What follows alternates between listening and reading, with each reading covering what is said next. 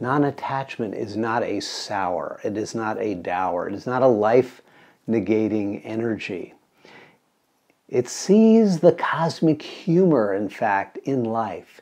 It feels and allows us to feel more completely the poignancy and the preciousness of life with its impermanence.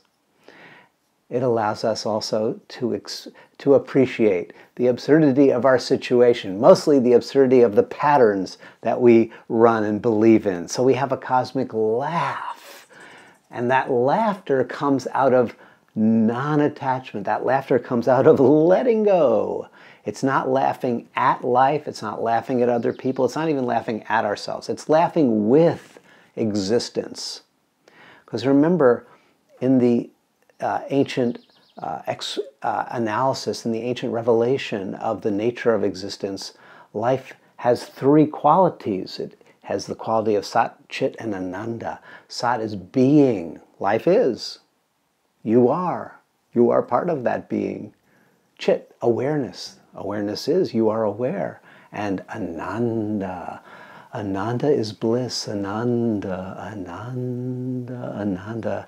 And this is the cos- this is the source of the cosmic humor as that Ananda and that bubbles up. There's a laughter.